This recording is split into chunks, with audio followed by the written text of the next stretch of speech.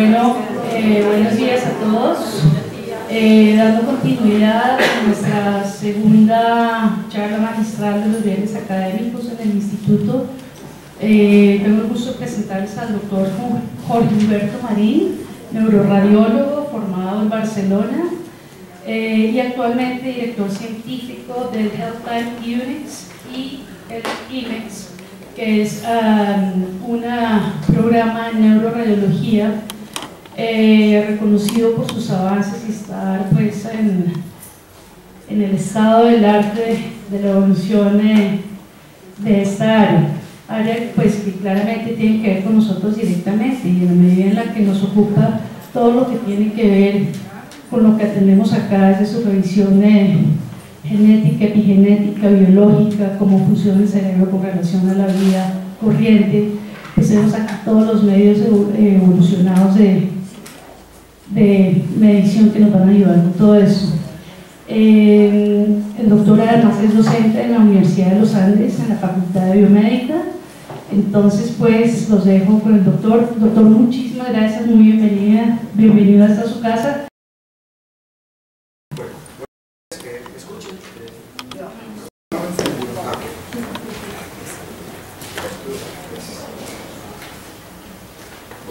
Eh, buenos días muchas gracias por la Eh, pues yo soy eh, médico de la Universidad Pontificia Bolivariana, hice después medicina interna y, radiología en la Universidad Nacional, después neuroradiología en, en, el Hospital Clínic de Barcelona. Trabajé allí nueve años y regresé al país hace cinco años en un plan de emprendimiento en desarrollo de imágenes avanzadas de neuroimágenes avanzadas. Esta es la, como decía la doctora, digamos un emprendimiento bastante interesante con la Universidad de los Andes eh, y la empresa privada, o sea, siempre como el sueño de, de, muchos de estas tesis grandes que tienen los, los muchachos de ingeniería se quedaban ahí, eh, yo asesoraba tesis doctorales y se quedaban todos estos proyectos tan, impactantes eh, sin llegar a, finalmente a los pacientes y a la industria. Eh, y hace siete años comenzamos este emprendimiento, ahora somos 84 personas, de ellos son 43 ingenieros, o sea que veo más, me trato más con ingenieros que con, con médicos, pero pues el objetivo final siempre va a ser el paciente. O sea, eh, la charla se divide como en dos partes, no sé, esta es la primera que fue como los inicios de hace unos 16 años, comenzamos con las imágenes en psiquiatría eh, y eh, pues ahora hemos evolucionado bastante, estamos haciendo redes neuronales, sería como una segunda parte. Entonces las imágenes del mundo de la neuroimagen estructural a presentar los avances muy grandes en, postproceso avanzado, en geografías, ya disponemos de de secuencias en resonancia magnética, que es lo que yo más trabajo, sin contraste. O sea, es una técnica donde se marcan los protones de hidrógeno eh, y uno puede hacer el recorrido de estos protones marcados para obtener imágenes de estas como estas malformaciones sin necesidad de gabolina.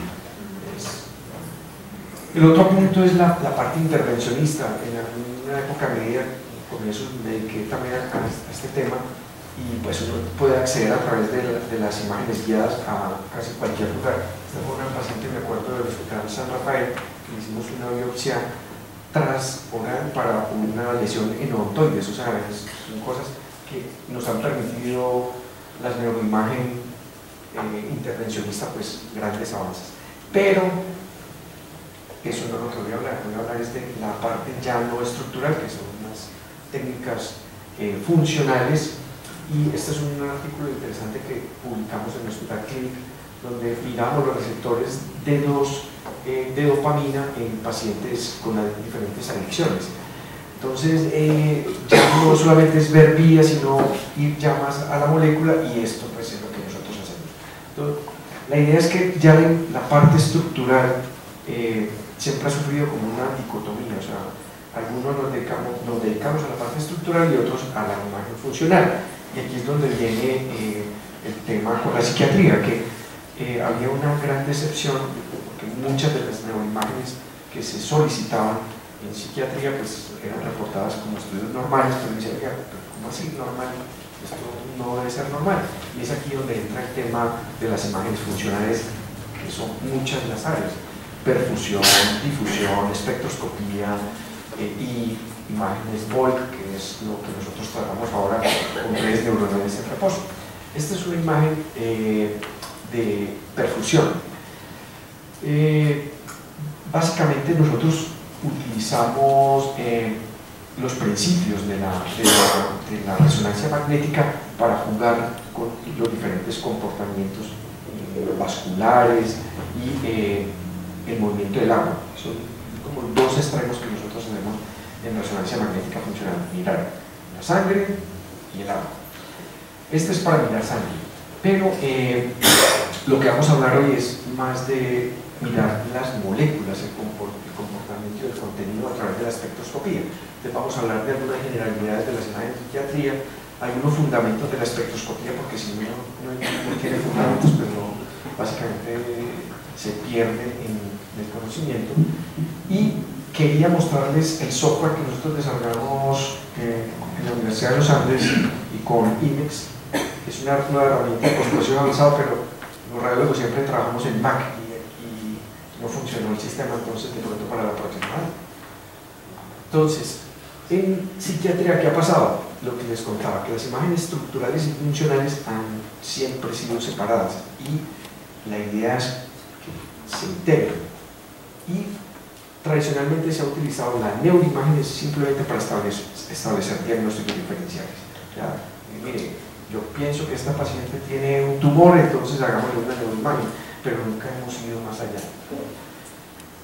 De, los hospitales más grandes en, London, eh, en psiquiatría, han cogido, hay diferentes trabajos de 100, de 200, 300 pacientes, muchos más, mirando cuáles son las patologías que ellos consideraban remediables y que podían ayudar las neuroimágenes. Y llegamos a este porcentaje, solamente un 2% de los pacientes en psiquiatría estaría indicada las neuroimágenes, si nos vamos al punto de las lesiones estructurales, o sea que realmente no tenemos un gran papel desde el punto de vista de, esa, esas lesiones estructurales. Y sacar tradicionalmente, esto me imagino que es lo que ustedes leen, a quién se le hace neuroimagen en psiquiatría para esto las lesiones estructurales, entonces pacientes que tienen cambios agudos del estado mental, mayores de 50 años, establección de una nueva psicosis, o sea, son los criterios que siempre utilizamos en la imagen tradicionalmente. Y esto, como les digo, es para mirar lesiones estructurales, no es la idea a futuro. O sea, la idea a futuro es tener un conocimiento, digamos, más, que se acerque más a la ultraestructura, qué es lo que está pasando con las moléculas, etcétera, etcétera que por ahora esto es lo que, lo que tradicionalmente se maneja en el mundo. Esto es patología remediable. Entonces es mirar un paciente que tiene alteración en el comportamiento y resulta que tiene o un hematoma o una legión, en este caso un hematoma fibral crónico, o pacientes que no es muy claro el antecedente de un trauma y tienen alteraciones que tienen una reserva cognitiva muy límite y envejecen, y pues lo que vemos es que tienen grandes secuelas de encefalomalacia, gliosis. hasta ahí llegan realmente los, los higromas quísticos progresivos. O sea, es algo que para nosotros no ninguna emoción. Pues, esto no, no, no motiva.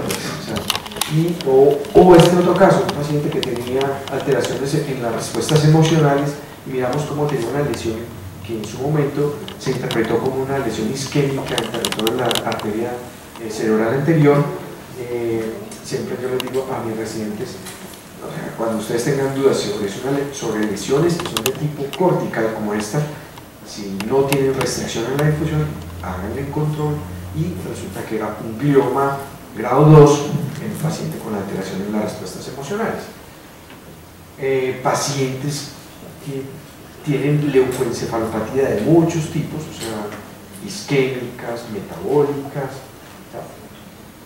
y eh, los pacientes con esclerosis múltiple, o sea, son nuestros grandes eh, no sé, nuestras grandes solicitudes en, pacientes sobre todo que tienen enfermedad bipolar, eh, hasta un 7% en algunos estudios muestran que tienen lesiones estructurales de tipo desmielizante, como en este caso una paciente de 23 años que cursó inicialmente como un trastorno bipolar y pues tiene unas imágenes bastante características eh, de los dedos de Dawson, eh, que son de placas de desmielización eh, periventriculares con un eje perpendicular al sistema ventricular, muy típicas de una esclerosis múltiple. Pues hay muchos criterios, uno de ellos es este, o sea, es una lesión típica. Este paciente creo que también tenía placas justacorticales que hacen que llenaban los criterios de progresión en el tiempo y en el espacio para una esclerosis múltiple.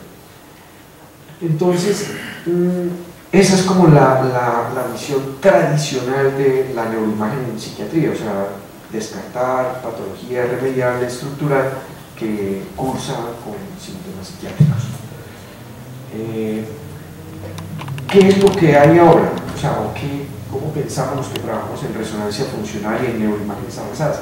Que pues hay otro gran campo y es el campo de las imágenes que son reportadas como normales, pero los pacientes definitivamente tienen una enfermedad psiquiátrica. Entonces, eh, quisimos en el clip eh, hablar de perfiles de neuroimagen, unas que nos sirvan para el diagnóstico, para la predicción del curso en psiquiatría y el control del tratamiento. Entonces, aquí es donde yo me muevo mis modelos, que es donde están las áreas grises, o sea, donde no hay estructura, donde hay moléculas.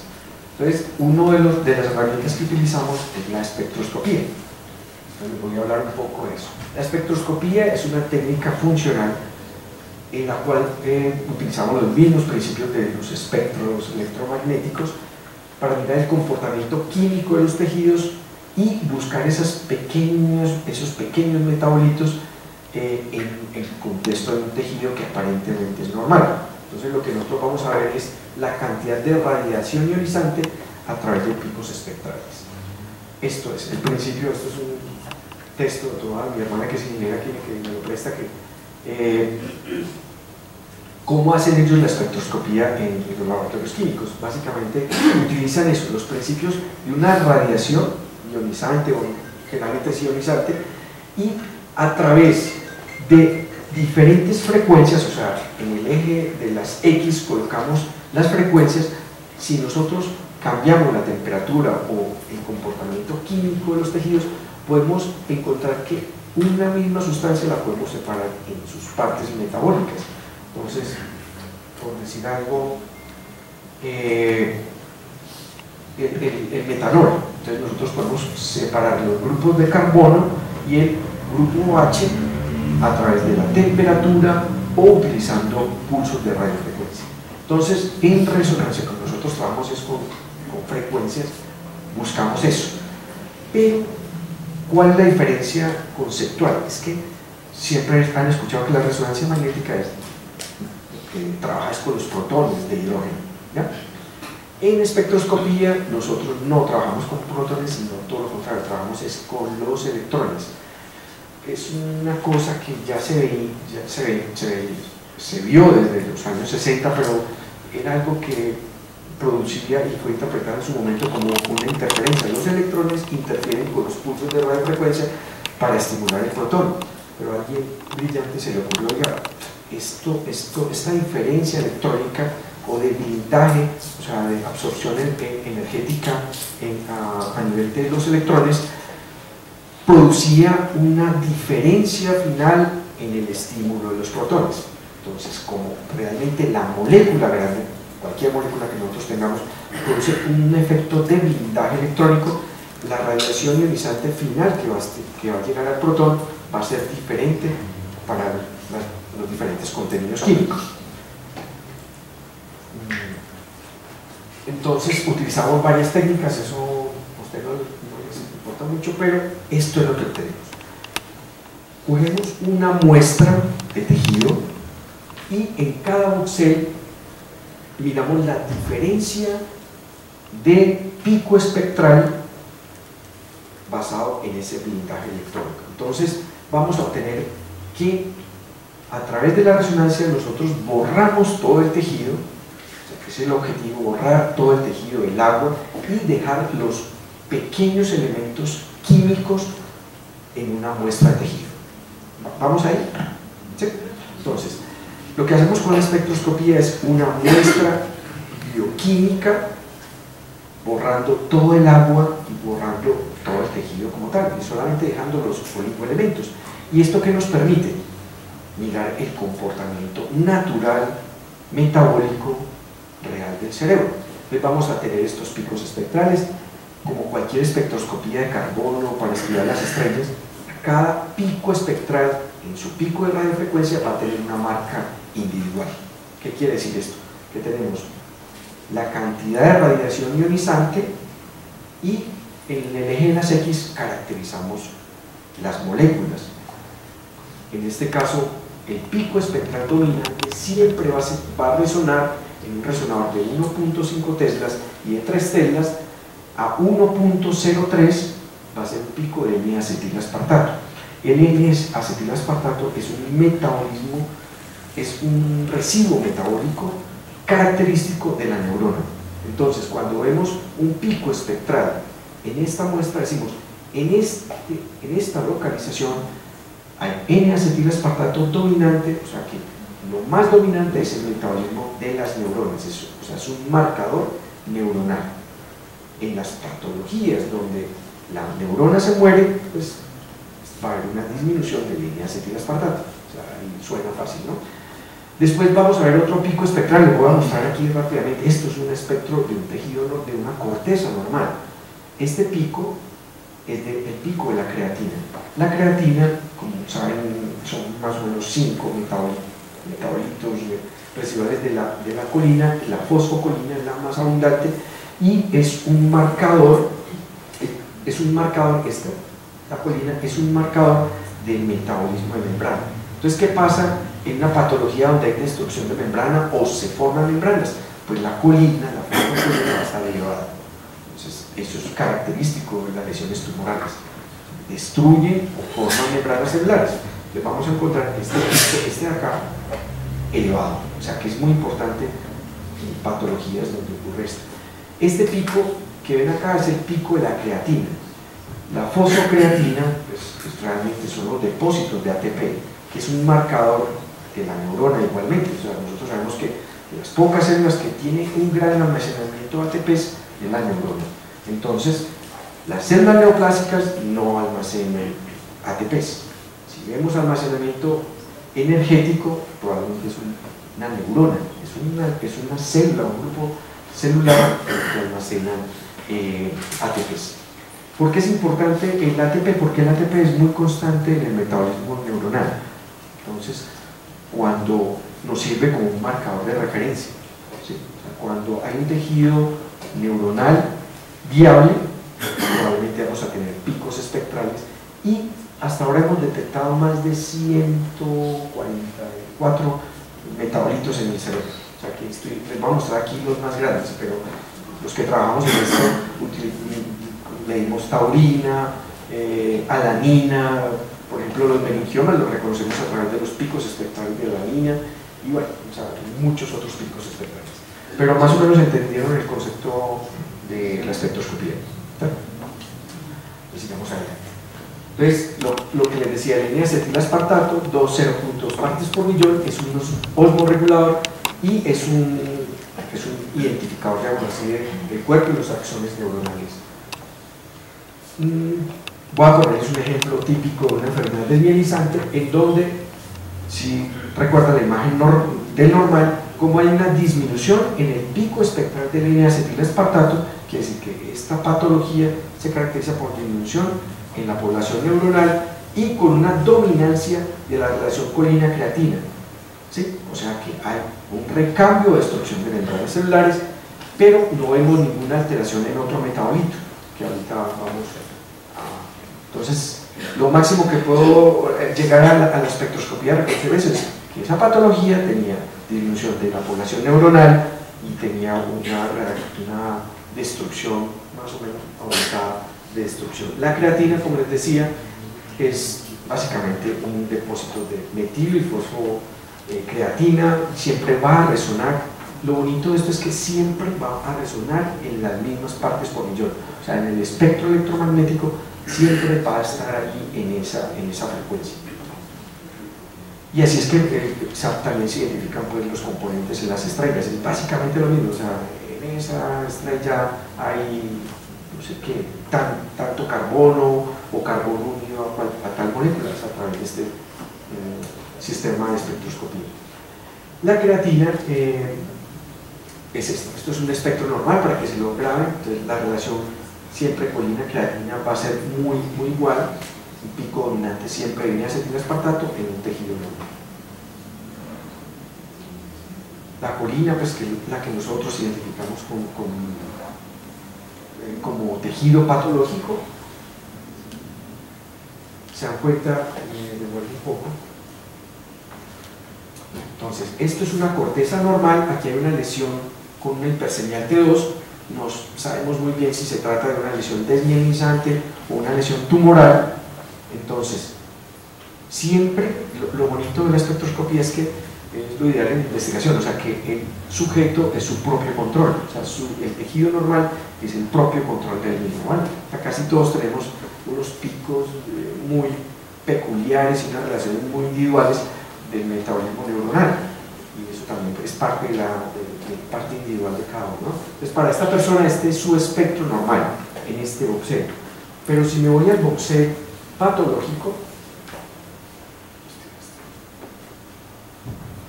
Si me voy a la lesión, aparece esto. ¿Sí ven la diferencia? Entonces, esta, esta lesión se caracterizaba porque no disminuía realmente la población neuronal, o sea, que no tenía el comportamiento de una lesión tumoral.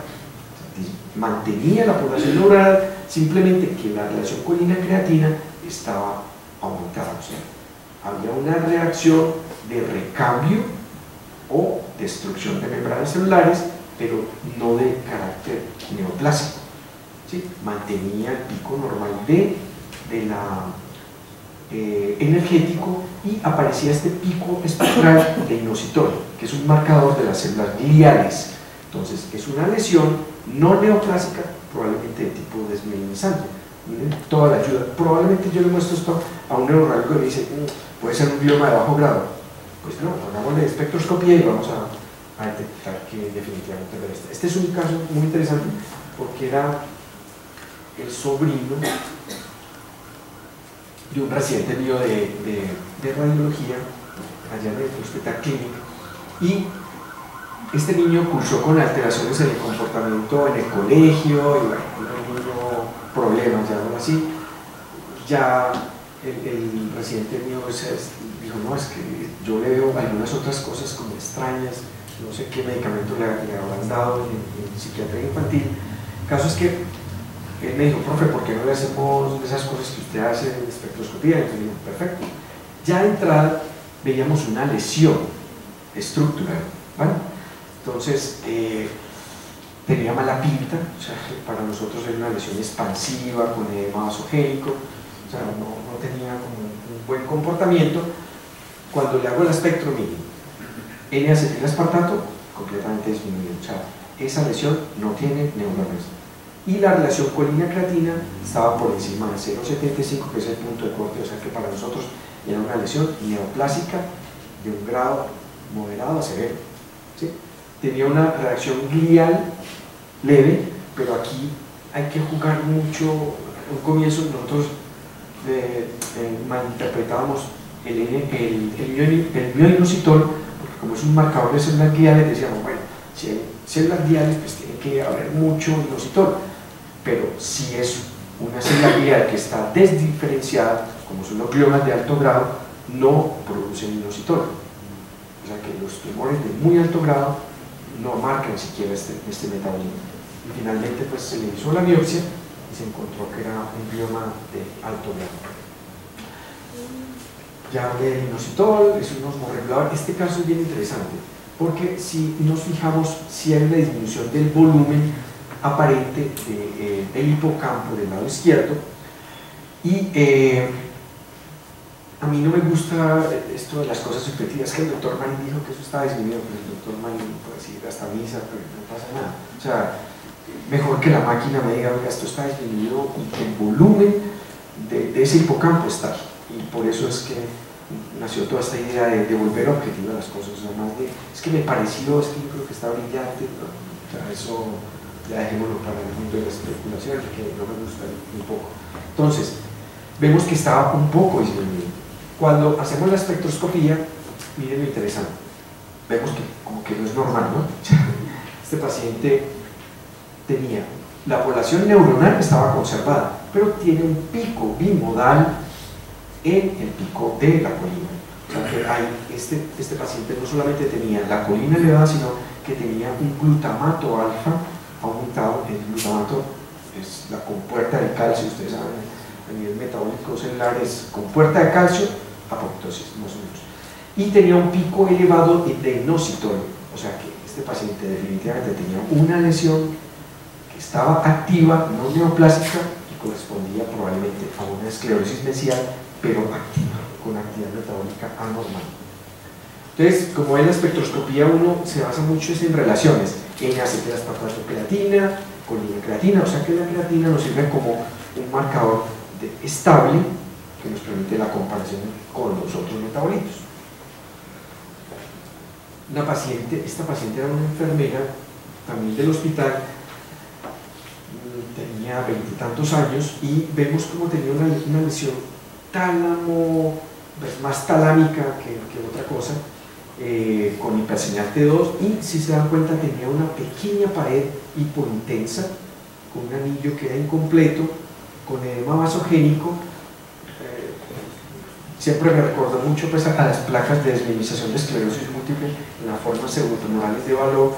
Entonces, pero es muy atrevido uno decir, oiga, no, es que yo estoy, no, seguro no estoy, de que sea una, una pseudotumoral de valor versus un glioma. Es que la, la implicación es bastante, bastante severa decir, no, déjeme, es una esclerosis en su forma pseudotumoral versus un, un glioma. Cuando hicimos la espectroscopía, súper interesante. Miren que la población neuronal en este punto está conservada. La relación colina-creatina está conservada. Hay reacción de inositol, o sea, hay una respuesta glial, pero no es neoplásica, pero miren, tiene lactato. ¿sí? O sea, tiene un componente necrótico no tumoral y definitivamente era una placa de desminización tipo balón y no era un glioma. Bueno, o sea, son, es, para uno hacer todo este tipo de cosas, pues hay mucho concepto matemático, de física, pero es bastante interesante. Ahora, cuando nosotros empezamos hace unos 16 años y metíamos los pacientes en, los resonadores y había dos problemas. Uno, que los pacientes estaban medicados, entonces nosotros decíamos, bueno, esto será que altera o no altera los metabolitos en psiquiatría.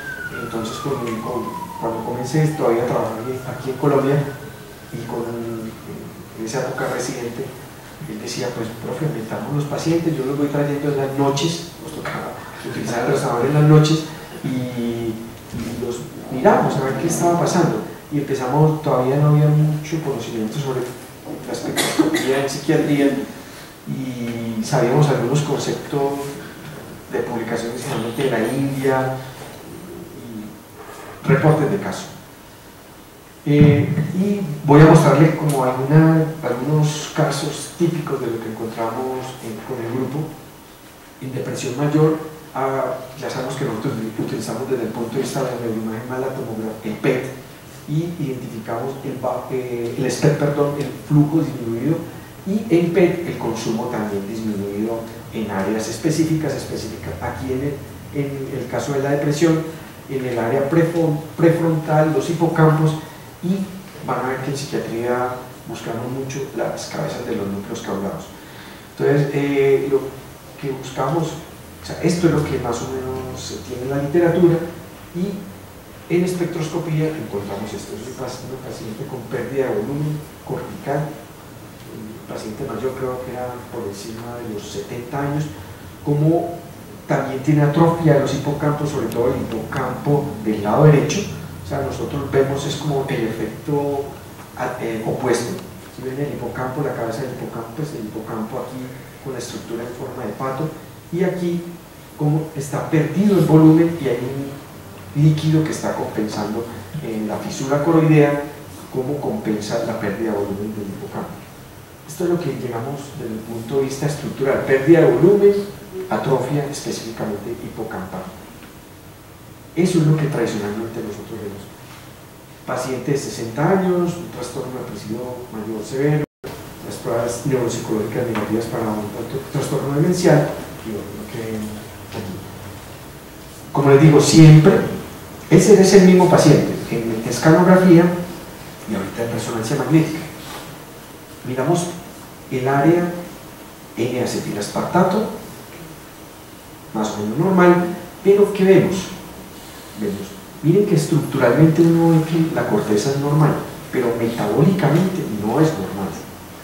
Metabólicamente tiene un aumento en la relación colina-creatina, hay presencia de células guiadas en ese punto. Es una, una, una imagen, perdón,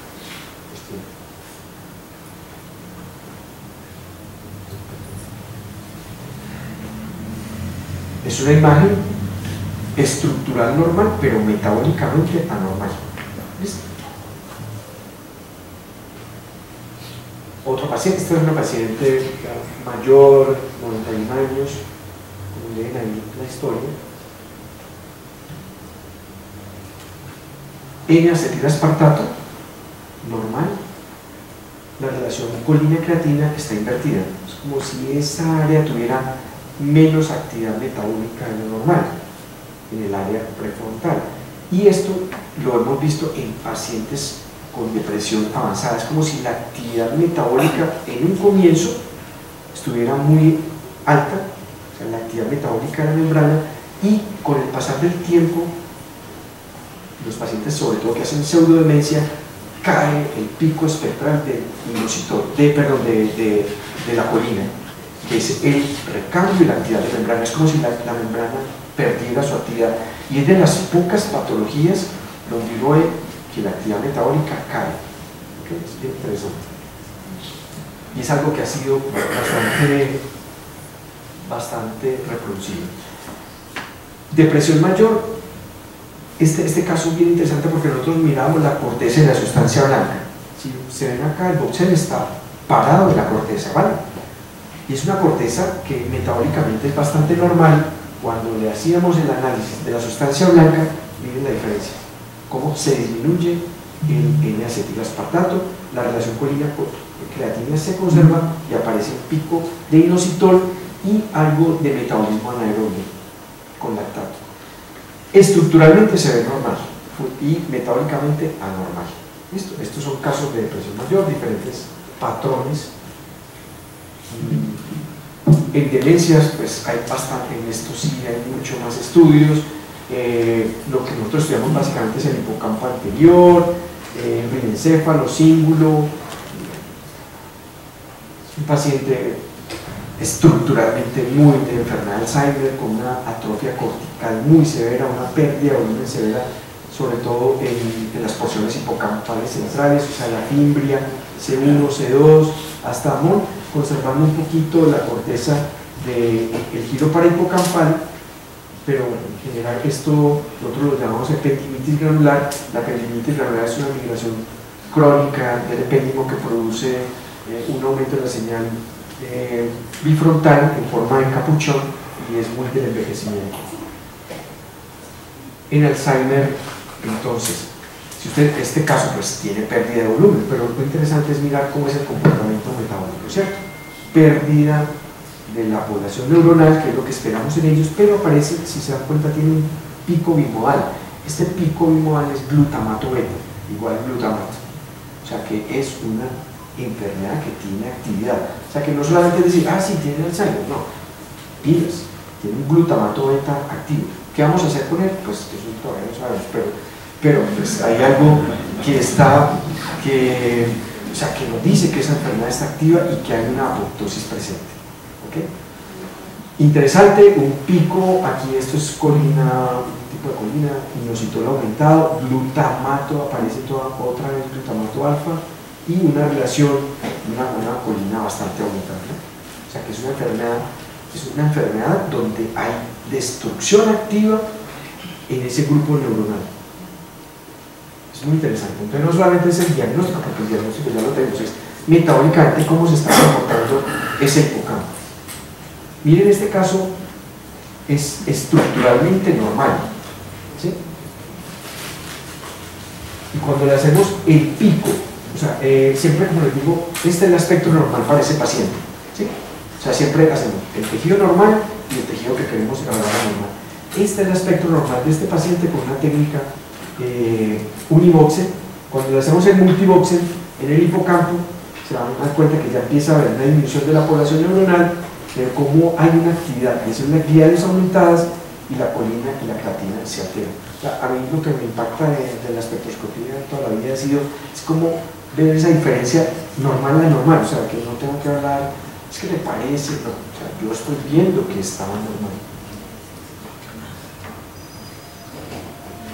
En esquizofrenia es un poco más complejo porque, pues, yo creo que todos estamos de acuerdo que no, es una enfermedad que sino un síndrome, son muchos tipos de, patrones y, y cada, cada, cada, grupo con algunas manifestaciones tiene un patrón espectroscópico que también es, es alterado. Esto es lo, típico que se ha reportado, la disminución del N-acetil-aspartato frontotemporal, el, tamaño aumentado de del caudal izquierdo por alteración en la poda neuronal, o sea, es como si tuvieran más conectividad de, de lo normal y estudios italianos han demostrado que definitivamente tenían eh, un mayor volumen. Eh, nosotros hemos tratado a través de las, de las técnicas volumétricas reproducir eso de que el caudal izquierdo es más grande en algunos pacientes lo encontramos, en otros no, o sea, no es algo muy constante. Eh, en espectroscopía llegamos a hacer unos 40 y tantos pacientes. Este paciente, si se dan cuenta, ya tiene pérdida de volumen, un aplanamiento de los giros dentados del hipocampo, que es donde más se detiene, y algo de hiperseñal del lado derecho. Ese es muy subjetivo, pero este es un paciente interesante, perdón.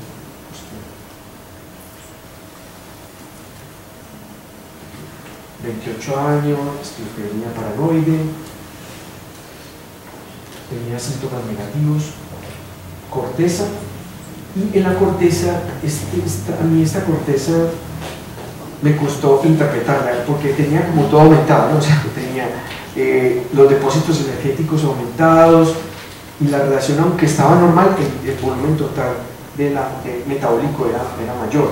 Tenía, eh, tenía definitivamente aumento en, en, la actividad del inositol, de las células gliales y bueno, el N-acetil-aspartato estaba normal.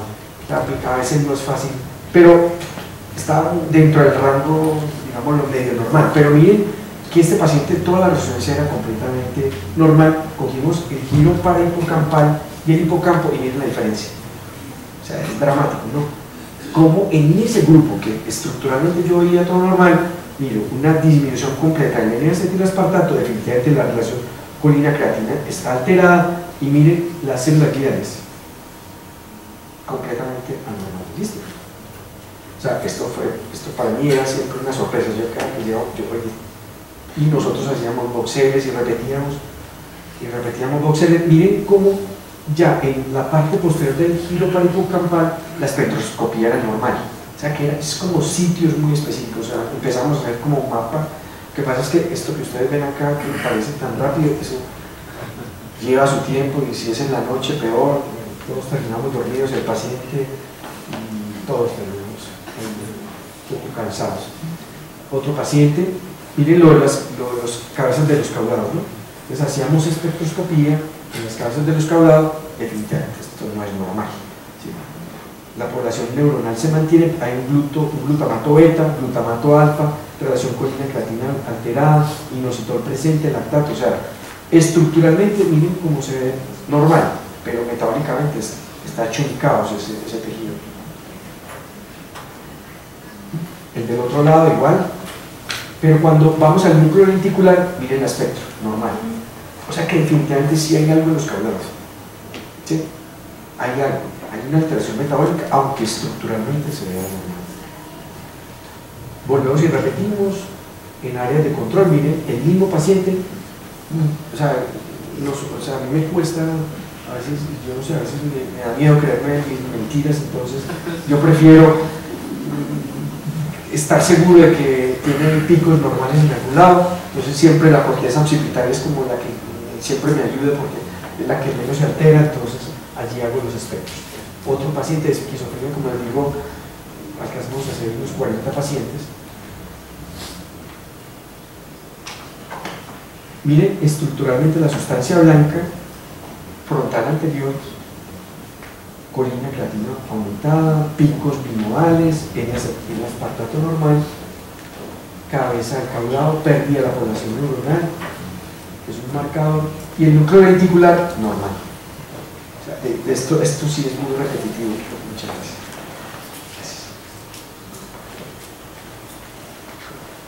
El trastorno obsesivo compulsivo también hicimos pacientes, eh, ya sabemos que es como los circuitos en, en trastorno obsesivo compulsivo están más estudiados, entonces íbamos básicamente a estos lugares según el, el, el feedback positivo que siempre se ha escrito en ellos, a ver qué había, cabeza del caudado nuevamente, y miren que el patrón es diferente a, la esquizofrenia, aunque hay un aumento en la relación colina-creatina, no, no, nunca hemos visto glutamato y el pico de, de tiende a ser casi normal, pero sí definitivamente la actividad metabólica es más alta en todo el circuito.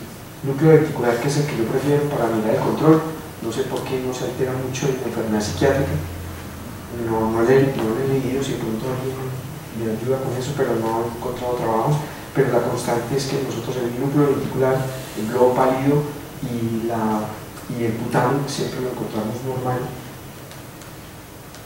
Normal. Y miren, este caso es muy interesante porque en la corteza órbito-frontal es donde uno ve unas alteraciones. Esto es el tejido anormal y este es el normal del paciente. Como hay pérdida en la población neuronal. Es como el mayor, lo que más hemos encontrado en la corteza órbito-frontal en pacientes con obsesivo compulsivo. También utilizamos otras técnicas de resonancia con Volt, esto es ya otro, otro tema, esto es lo que hacíamos antes, que utilizamos paradigmas, entonces era cuando comenzamos esto en el año 2001, todavía estaba yo de, residente y eh, eh, con Nuria Vargas yo allá en el hospital clínico empezamos a mirar paradigmas de memoria, de coordinación y bueno, adaptamos las grafitas estas para, o sea, todo era muy muy artesanal, el SPM lo teníamos que correr manualmente, eso se tardaba unos días haciendo el paciente. Ahora lo que estamos haciendo son redes neuronales en reposo, perdón, redes neuronales en reposo que no, no necesita eh, un, grupo muy grande, o sea, no necesitamos un físico allá, tenemos que tener un físico, un neuropsicólogo, eh, una administradora, eso era un grupo, paciente, paciente gigante, los costos eran muy altos.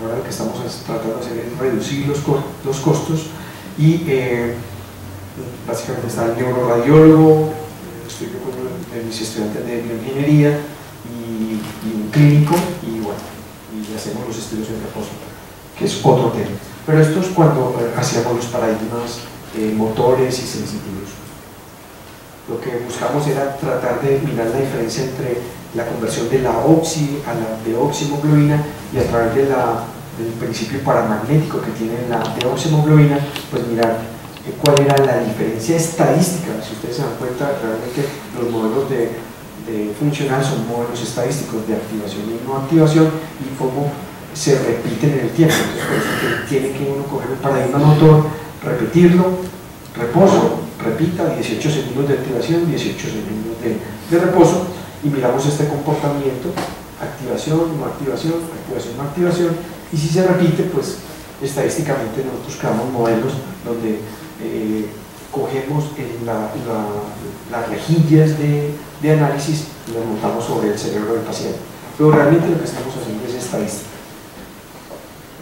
es esto ¿Qué hay a futuro en espectroscopía? Esto, resonadores que miden el litio, el flúor y el gamma. Esto todavía es muy experimental, pero ese es el futuro, ya dirigido a la parte de psiquiatría. O sea, resonadores que nos puedan hacer un control del litio, del flúor y, las sustancias gabaéticas. Mm, importante, esto siempre tiene que ser individual, o sea, las valoraciones tienen que ser clínicas individuales. Y el, la otra parte muy importante es el trabajo en equipo. Aquí tienen que estar involucrados los psiquiatras, tiene que estar el neuroradiólogo, eh, la neuropsicóloga o el neuropsicólogo y eh, siempre les hago propaganda a los estudiantes o los ingenieros que nos ayudan mucho con esto. Investigación, o sea, falta montones de... O sea, uno, no sé por qué las, eh, las psiquiatrías a veces como por ciclos en la parte de neuroimagen hay como unos picos altos de, de producción, después se cae, en, en este tiempo estamos en caída de producción, eh, técnicas avanzadas. Comenzamos otra vez con las redes neuronales y empieza a subir un poquito, pero definitivamente eh, la investigación es la base de todo esto. Y los apoyos institucionales, o sea, esto vale dinero, necesita uno dedicar resonadores con, unas especificaciones técnicas mm, pues, eh, muy, muy puntuales y si no hay dinero, pues esto no fluye. Eh, pienso yo que hay que involucrar la, la, involucrar muchas cosas, la industria, yo creo en la asociación entre la industria y la universidad, y la empresa ha sido una muestra de, que se puede hacer eh, dinero, hay que hablar las cosas como son, eh, a través de, la investigación, de unirse la universidad, en las instituciones médicas y la industria.